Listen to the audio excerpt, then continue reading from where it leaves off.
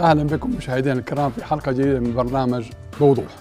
أجرى المهندس خالد الفالح وزير الاستثمار زيارة رسمية الأسبوع الماضي إلى بريطانيا. وخلال هذه الزيارة عقد سلسلة من اللقاءات مع عدد من المسؤولين في القطاعين طبعا الحكومي والخاص.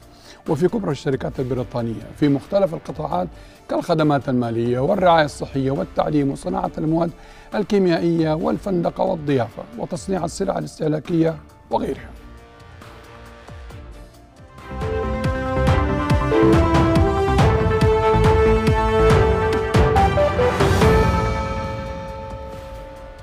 وقال الفالح بهذه المناسبة أن رؤية المملكة 2030 هي خطة تنموية طموحة وجريئة في نفس الوقت وهي تقدم فرص استثمارية غير مسبوقة للمستثمرين من حكومات وشركات وأفراد.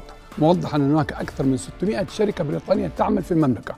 ونطمح طبعا من خلال الزيارة واللقاءات المماثلة إلى زيادة حجم الاستثمارات البريطانية في المملكة العربية السعودية.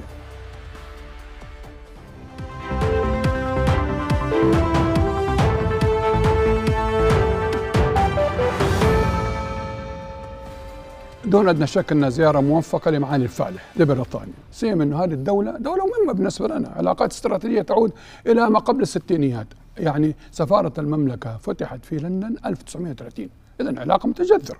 هذا متفقين عليه. بريطانيا أيضا عضو في مجموعة دول 20 وهذا أيضا أمر مهم. ونحن كمان أعضاء. المملكة العربية السعودية أعضاء مهمين. وبالتالي تلاقي الأفكار حقيقة في كثير من المجالات. اولا عندنا طبعا توافق سياسي في أمور كثيرة وهذا مو موضوعنا موضوعنا اقتصادي. لكن حقيقة كثير من المشاريع اللي ممكن نحن تخدمنا فيها بريطانيا يعني متطورة في هذا الأمر دولة متقدمة عظمى ما في شك في في التعليم في الخدمات المالية تخيلوا في التمويل الأخضر. إيش هو التمويل الأخضر ده؟ التمويل الأخضر هو ده اللي يمول المشاريع اللي هي لها علاقة بالبيئة صديقة للبيئة إن صح التعبير. إذا أعتقد أيضا بوجود 30 ألف مواطن بريطاني يعملون في السعودية. واستثمارات يعني وشركات أكثر من 17 مليار دولار. هذه مبالغ ضخمة وأكثر من 200 شركة. إذا هذه الزيارة حقيقة إن شاء الله ستجلب المصلحتين. وين وين على ما يقولوا؟ مكسب مكسب ها؟ للبريطانيين وللمملكة العربية السعودية بإذن الله تعالى لنحقق رؤية المملكة 2030 بتعزيز الاستثمارات الأجنبية سواء المباشرة أو غير المباشرة. بوضوح ألقاكم.